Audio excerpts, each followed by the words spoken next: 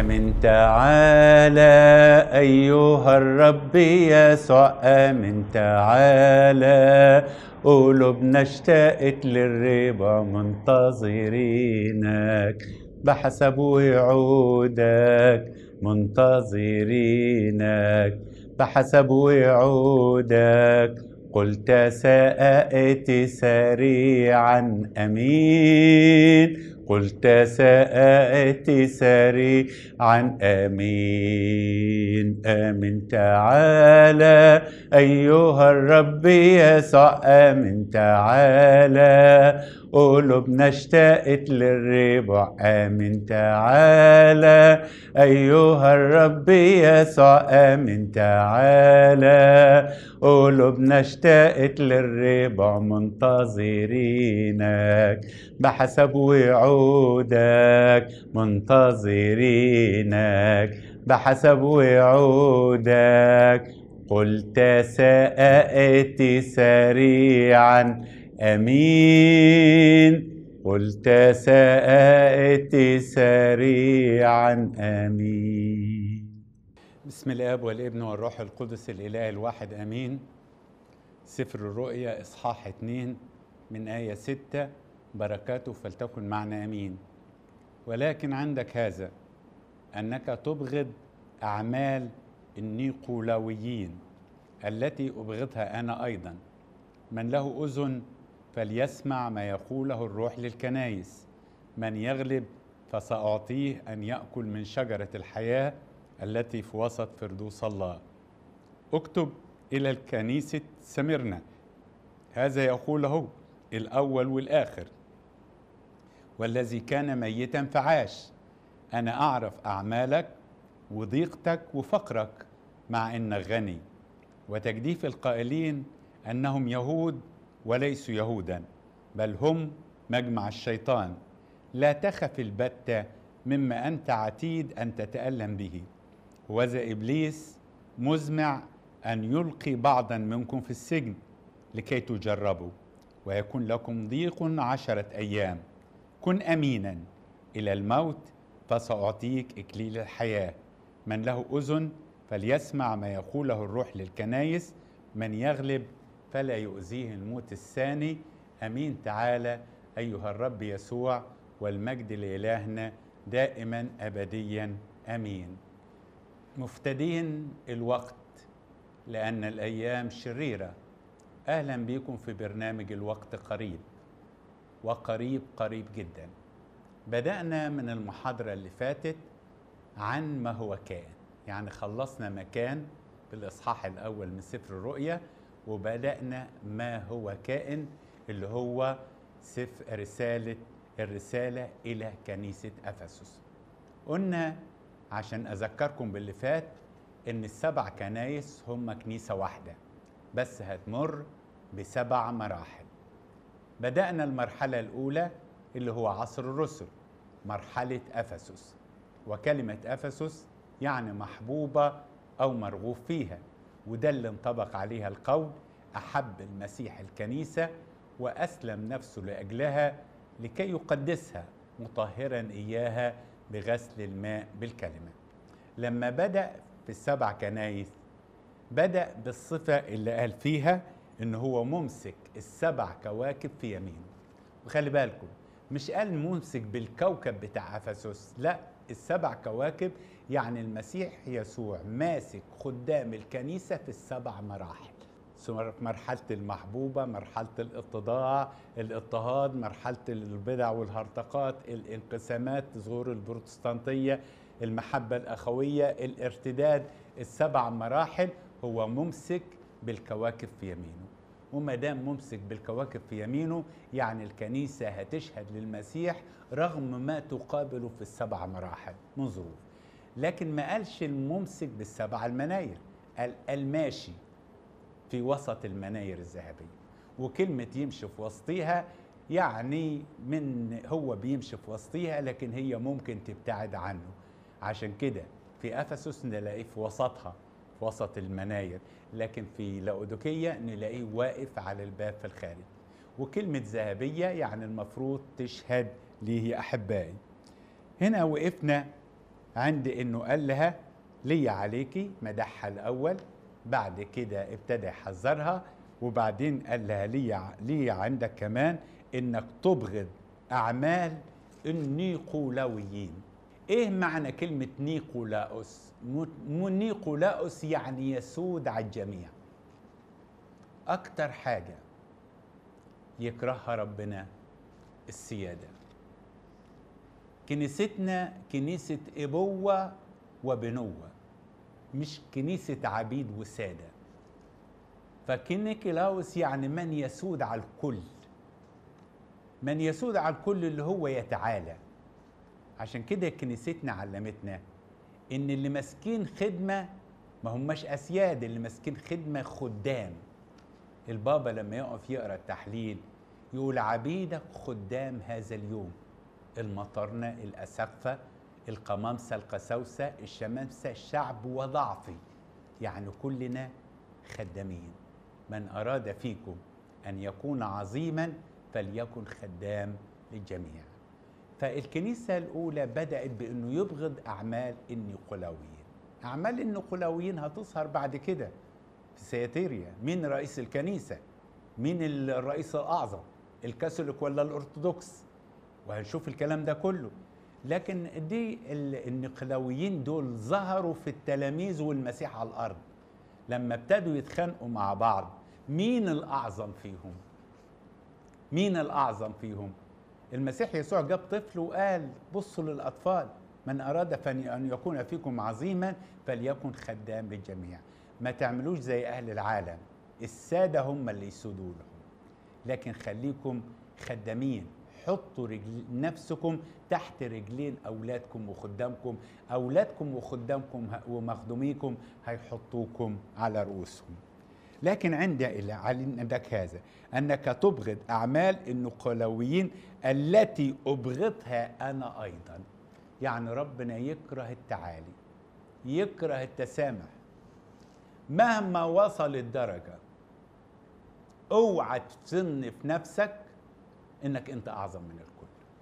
فيش أكتر من إيليا النبي الناري ايليا النبي الناري راح قال لربنا قتلوا انبيائك على بني إسرائيل وهدموا مذابحك وبقيت أنا وحدي. محدش بيعبدك غير أنا والباقي كله أي كلام. عارفين ماذا قال له الرب؟ قال له اذهب امسح أليشع ابن شفاط نبيا مش معاك عوضا عنك. يعني إيه؟ يعني انت خدمتك انتهت. ما دام قلت أنا وحدي يبقى خدمتك انتهت. ما دام قلت أنا حاجة والناس حاجة يبقى الخدمة انتهت. نيقلاؤس اللي بيقول له لست مثل باقي الناس الظالمين الزناة الخطاة. الله يكره التعالي يا أحبائي. من له أذن فليسمع ما يقوله الروح للكنائس. خلي بالك هنا من له أذن. لو قريت الأناجيل الأربعة تلاقي يقول من له أذنان للسمع فليسمع. في الأناجيل الأربعة من له أذنان لكن في سفر الرؤيا من له أذن. طب دي لها دلالة؟ آه أصل الإنجيل الأناجيل الأربعة موجهه للبشر على الأرض اللي ليهم ودنين ناس هتقبل وناس هترفض. رسالة الإنجيل مش الكل هيقبلها. من له أذنان. لكن سفر الرؤيا ده سفر سماوي. اللي الودنين اتنين يبقوا ودن نعم واحدة. يعني مثلا إحنا لينا ودنين فينا النعم وفينا اللا. لكن المؤمنين الحقيقيين لهم ودن واحدة فيهم النعم وفيهم الأمين زي المسيح يسوع فيه النعم وفيه الأمين. كلمة أذن يعني الودنين اتحولوا لودن واحدة دي تقول آه ودي تقول آه. فلما الكلام يدخل من اليمين تقول آه ويدخل من الشمال تقول آه. يصطدموا ببعض وينزلوا في القلب تحت أقول له خبأت كلامك في قلبي لكي لا أخطئ إليك. من له أذن للسمع فليسمع ما يقوله الروح للكنايس لأن عهد الرسل في العهد الأولاني في الإصحاح الأول المسيح الثاني الروح القدس عهد النعمة لا أترككم يتامى أرسل لكم معزيا آخر. الروح القدس نزل يوم الخمسين وهيفضل في الكنيسة ومع الكنيسة لغاية ما يجي المسيح ياخد كنيسته. الروح والعروس الروح اللي هو العروس الكنيسة والروح القدس يقولان تعالى لأن مش ممكن الروح القدس هيفارق الكنيسة. قاعد معاها وهيطلع معاها. عشان كده بيقول من له أذن فليسمع ما يقوله الروح للكنائس. في حاجة كانت تلاحظها. الكنيسة الأولى والثانيه والثالثه يقول من له الأذن وبعد كده يقول المكافأة. أما من أول الرابعة للآخر يقول المكافأة وبعدين يقول من له أذن. يعني كأن بيقول الكنيسة اللي بتسيد فيها الروح سواء كان في عصر الرسل أو في عصر الاستشهاد أو في العصر اللي ظهرت فيه البدع والهرطقات كانت الأذن كلها متجهة لله. عشان كده كان بيقدم لهم كل المكافئات الثلاثه طيب إيه هي المكافأة؟ من يغلب؟ من يغلب إلا الذي يؤمن بأن المسيح هو ابن الله. هذه هي الغلبة. فسأعطيه. أن يأكل من شجرة الحياة التي في وسط فردوس الله. وسط يعني مركز. وكلمة شجرة الحياة يعني يرجع للفردوس. اتفتح الفردوس لأن في الجنة كانت شجرة الحياة.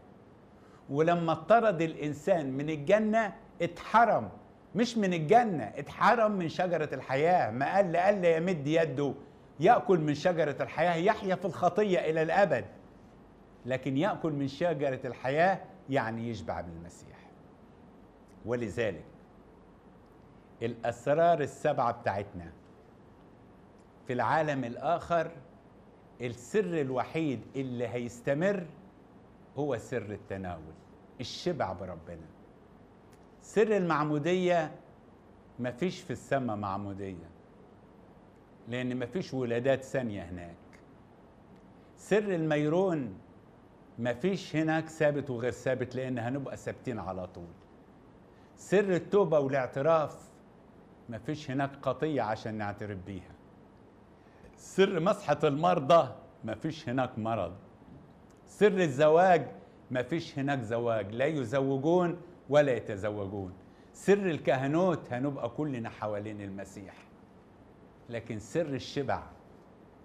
أي نعم إحنا دلوقتي بنشبع بربنا عن طريق سر التناول.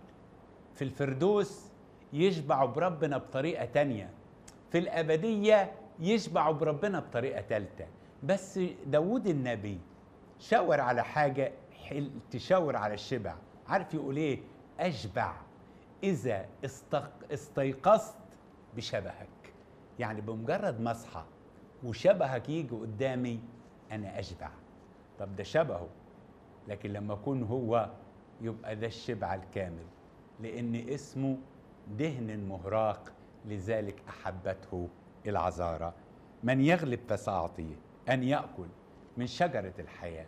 شجرة الحياة اللي هو المسيح اللي تعلق على خشبة الصليب نشبع بيه وقال أنا كما أن الآب له الحياة في ذاته كذلك أعطى الابن أن تكون له الحياة في ذاته واللي يؤمن بيا لا ينتقل من الحياة إلى من الموت لا ينتقل من الحياة الموت بل من ينتقل من الموت إلى الحياة وبعدين يثبت فيا إلى الأبد. دي المرحلة الأولى. ناخد مع بعض الكنيسة رقم اتنين. إلى الكنيسة في سمرنا.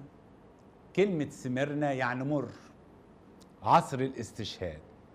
اكتب إلى ملاك كنيسة سمرنا. يبقى الأول ملاك أفسس سمرنا.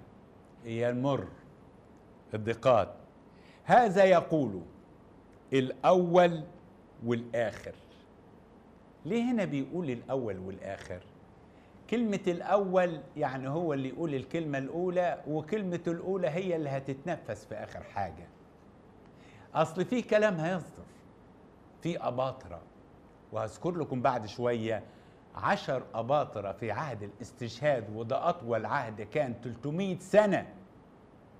بدأ باسطفانوس وانتهى ببطرس خاتم الشهداء. وده كان عصر الاستشهاد. طلعوا أباطرة. كل واحد من الأباطرة يصدر فرمان ضد المسيحية واللي بعده فرمان ضد المسيحية. يقولوا اللي يقولوه. بس أنا الكلمة الأولى والأخيرة بتاعتي. هذا يقول الأول والآخر. من ذا الذي يقول فيكون؟ والرب لم يأمر به. مين اللي يقول ده ويكون ورب ما, ما, أمرش بيه هذا يقوله الأول والآخر. وبيطمنك. طب لما الأول والآخر بتخلي كلام الأباطرة يقتلونا ليه؟ ويسفكوا دمنا ليه؟ طب ما أنا سفك دمي. عشان كده يقول لك إيه؟ الأول والآخر الذي كان ميتا فعاش. خلي بالكم مش الذي كان ميتا فقام لا. هو لما مات قام. آه لكن مات عشان إحنا نموت معاه وعاش عشان يعيش فينا. نحن من أجل نموت طول النهار ونعيش لا نحن لا نحن بل المسيح يعيش فينا. أحيا لا أنا بل المسيح يحيا فيا.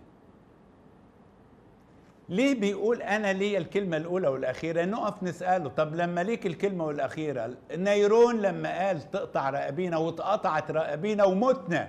أمال فين كلمتك الأولى والأخيرة؟ قال طب ما أنا مت. إذا كانوا قد فعلوا بالعود الأخضر هكذا فكم وكم بالعود اليابس؟ كانوا اضطهدوني هيضطهدونكم. لو كانوا قبلوني كانوا هيقبلوكم. لكن أنتوا تعرفوا إنه بيبغضوني. يعني تفتكر ان يبغضوني ويحبوكم؟ ده أنتوا العود اليابس وأنا العود الأخضر. وفعلوا بيا كده. لا إن لم نتألم معه لا يمكن ابدا يا أحبائي أن نمجد معه. هذا يقوله الأول والآخر. والذي كان ميتا فعاش. يعني لما أنا أموت أو استشهد المسيح عاش فيا. أحيا لا أنا بل المسيح يحيا فيا. حتى بدون استشهاد من اجلك نمات طول النهار تموت أيوه ميت بس عايش. عايش المسيح وبظهر المسيح في حياتي. أنا عارف أعمالك وضيقتك وفقرك. في هذا العصر كان اللي بيثبت إنه مسيحي يقتلوه ومش بس ويرموا أولاده في الشارع ويستولوا على بيته وممتلكاته. أولاد الشهيد يباتوا في الشارع ما يلاقوش غطا يتغطوه. الناس تلم لهم وتجمع لهم. اللي قلبه يلاقي فيه حسنة.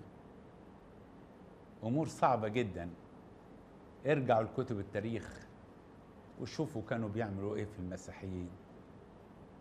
لحق المتنيح البابا شنودة لما يقول كم قسى الظلم عليك كم سعى الموت إليك كم صدمت باضطهادات وشوك. آلام رهيبة. أنا عارف أعمالك وضيقتك وفقرك. ضيقتك في الاضطهاد والسجن والقتل والبهدلة والرمي للوحوش. وبعد كده مش بس كده ياخدوا كل ممتلكاتك وعيالك يعيشوا في الشارع. وأولاد الراجل اللي كان يمتلك وعايش ومستور بقوا في الشارع. فقراء بيشحتوا مش لاقيين اللقمة ياكلوها. انت عارف يا رب؟ عارف. خلاص.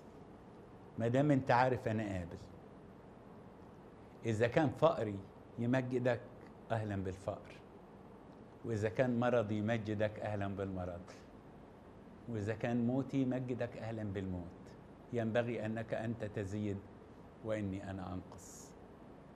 أنا عارف أعمالك وضيقتك وفقرك خلوا بالكم جملة جميلة مع إنك غني.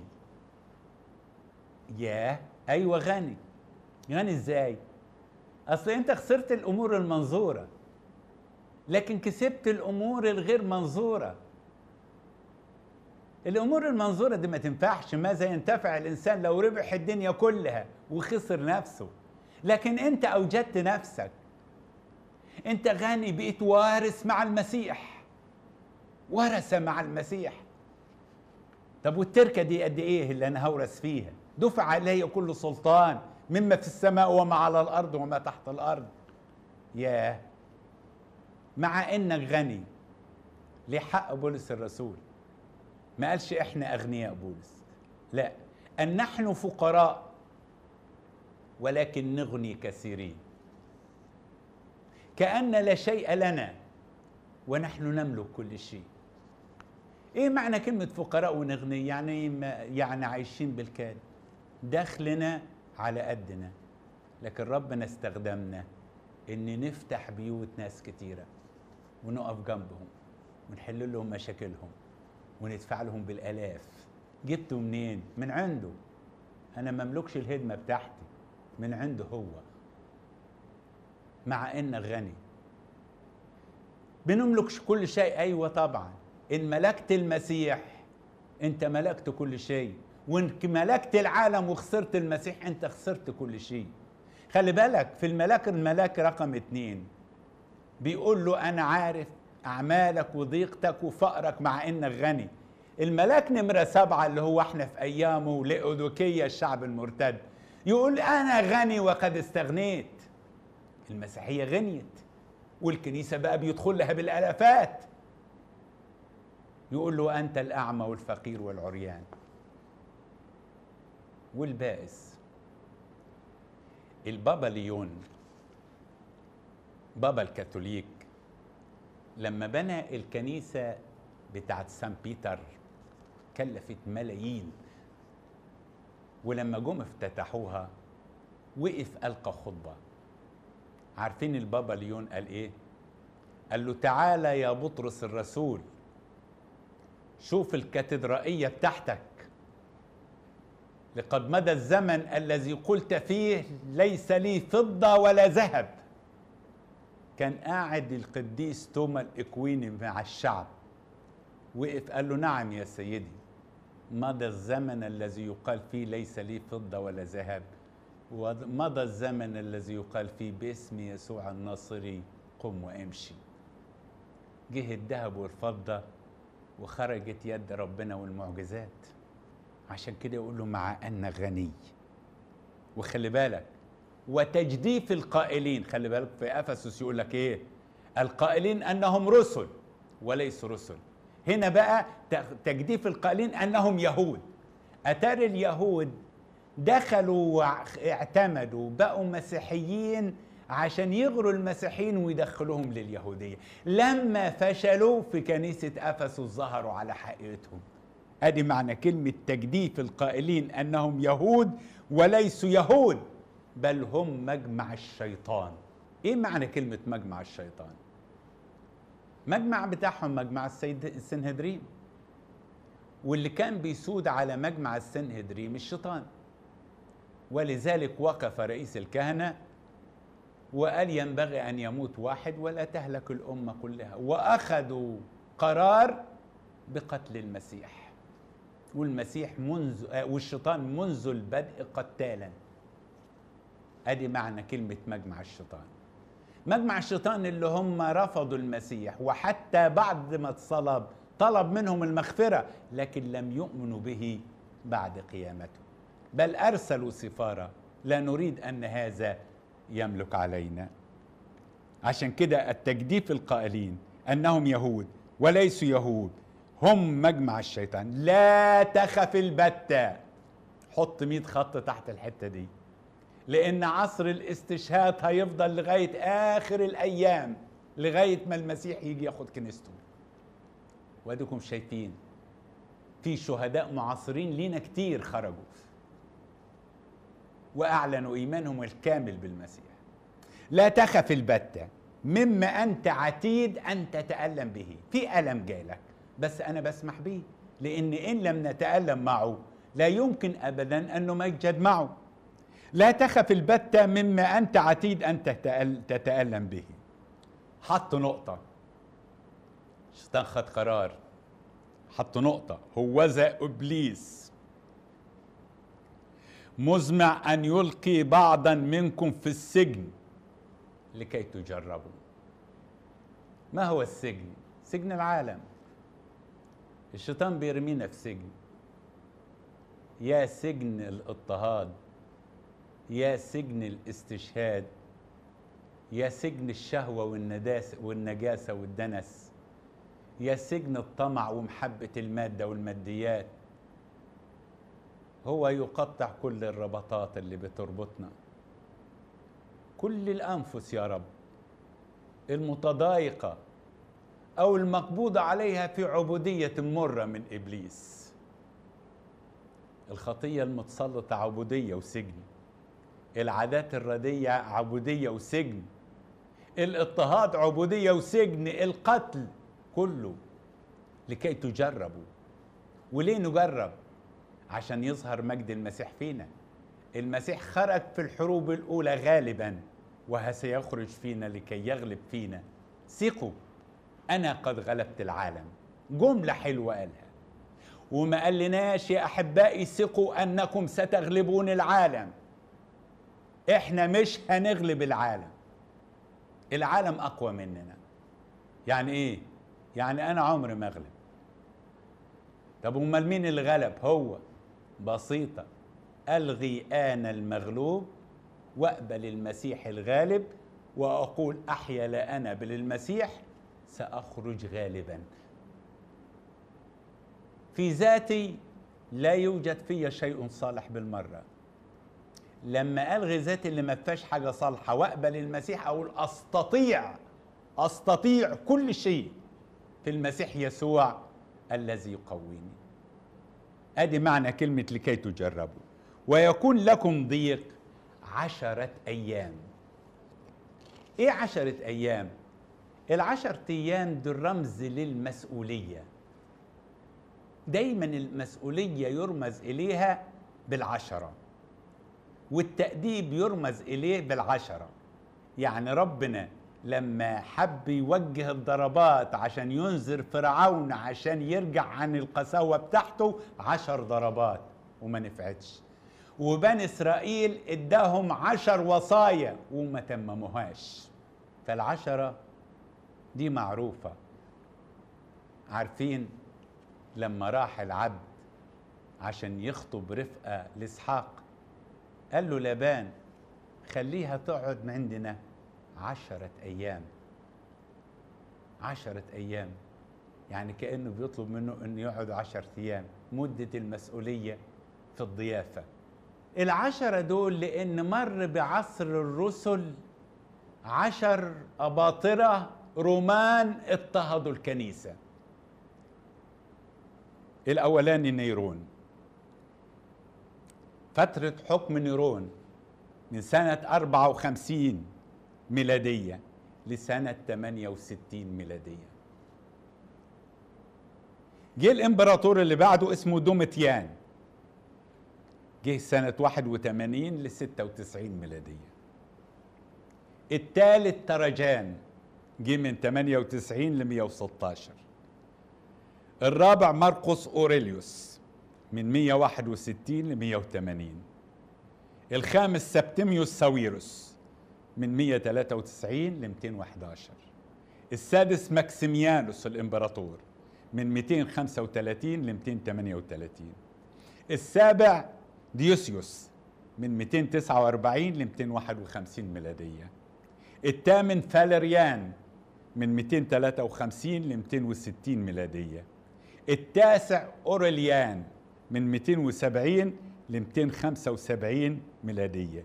العاشر والأخير دقلديانوس من 284 ل 305 ال11 كان قسطنطين اللي انتشرت على إيده المسيحية. كل الأباطرة العشرة دول أصدروا فرمانات بقتل المسيحيين. بس نيرون عشان يقتل المسيحيين يلفق له تهمة. واللي بعده واللي بعده واللي بعده. لكن آخر واحد دقلديانوس راح نزل قانون إمبراطور روماني. مجرد إنك أنت تبقى مسيحي تعدم. وكل ممتلكاتك تتاخد. مش يلفق لك تهمة. وكان الدم والاستشهاد وأكبر بلد اتذبح فيها مؤمنين هي مصر.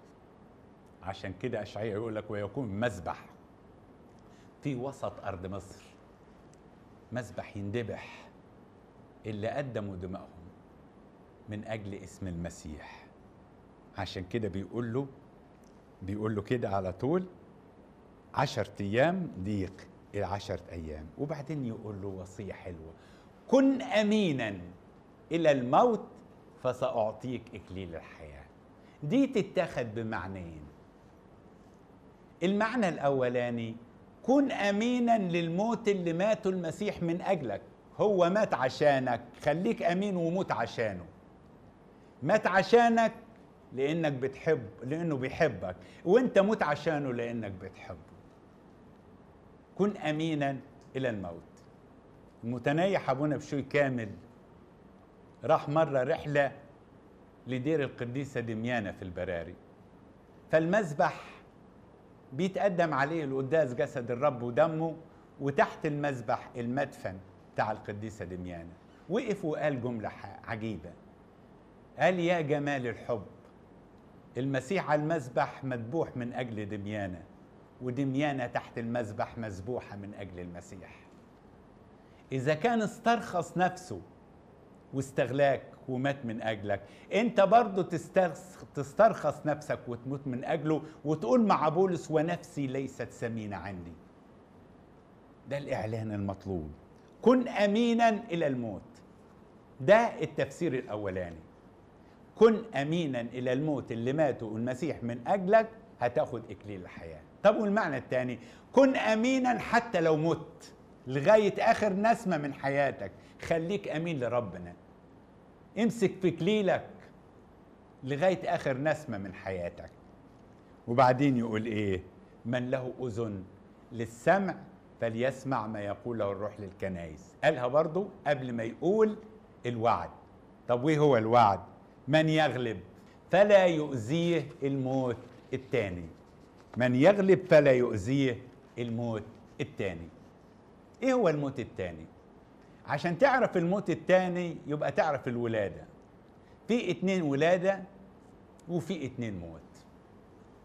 في اتنين ولادة الولادة الجسدانية اللي قال عنها داود بالخطية ولدتني أمي. في ولادة تانية قالها المسيح يسوع إن لم تولد من الماء والروح لا يمكن أن تدخل ملكوت السماوات. اللي اتولد مرة هيموت مرتين. واللي اتولد مرتين هيموت مرة واحدة. يعني إيه؟ اللي اتولد من أبوه وأمه وما اتولدش الولادة التانية هيموت مرتين الموت الأول والموت التاني. إيه هو الموت الأول؟ خروج روحه من جسده. وإيه الموت الثاني إنه يترمي في البحيرة المتقدة في النار والكبريت بالنار والكبريت. وهذا هو الموت الثاني وده الصعوبة. يبقى الموت الأولاني خروج روحي من جسدي. الموت الثاني إلقائي في نار الجحيم. لا يؤذيه الموت الثاني يعني الموت الأول. لا قتلوا جسده. لا, لا تخافوا من الذين يقتلون الجسد. إيه؟ ما حتى لو ما قتلش جسدك جسدك أساسا رايح للتراب. يعني كل الناس استشهدت؟ لا بس كل الناس ماتت. وأجسادها تحولت إلى فساد وتراب. وإحنا لابد أن الفاسد يلبس عسى يلبس عدم فساد. لكن كلمة لا يزيل الموت الثاني يعني الموت الثاني ملهوش سلطان عليه. هم كان لهم سلطان في الموت الأولاني. إن حكموا علي بالإعدام حكموا علي يرموني للوحوش يولعوا فيا بالنار. أهو ده الموت الأول. لكن الموت الثاني ماليش سلطان عليا الحياة دي تدينا إن نحيا للمسيح. خدنا المرحلة الأولى عصر الرسل. وخدنا المرحلة الثانية عصر الاستشهاد. ودي أصغر رسالة للكنايس السبعة ونحب الرب وعشنا. المرة القادمة نتكلم على عصر البدع والهرطقات.